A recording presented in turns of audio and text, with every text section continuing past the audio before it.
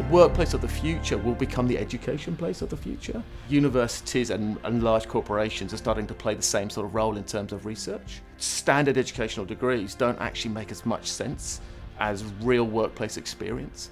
And we'll start to see the workplace becoming a more educational environment deliberately.